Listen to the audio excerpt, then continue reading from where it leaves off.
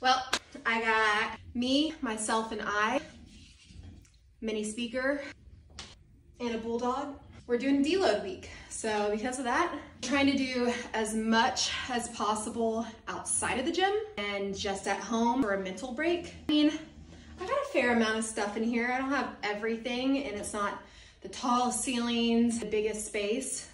It gets the job done with certain things. Here's a little tour of the gym. Got my BikeErg, SkiErg, echo bike, Bella. Got a couple signs up. Not all of them, but just a couple of them. And then we got some kettlebells, dumbbells, some barbells, some bands, the recovery cabinet, if you wanna call it that. Gets the job done. It doesn't have everything, but I get to be at home a little bit more, which is a nice mental break from being in the gym.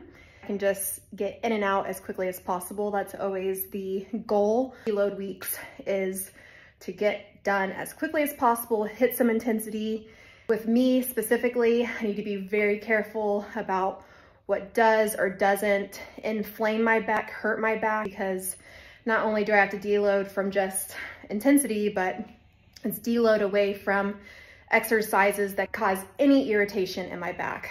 I have to be very, very specific and very careful with that. And it changes, it's a moving target, just like Instagram, it's a moving target. It's all sorts of crazy, so I just try to do my best here.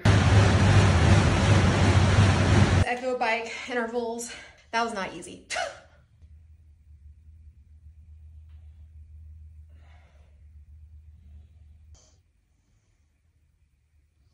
Just you and me, Bella.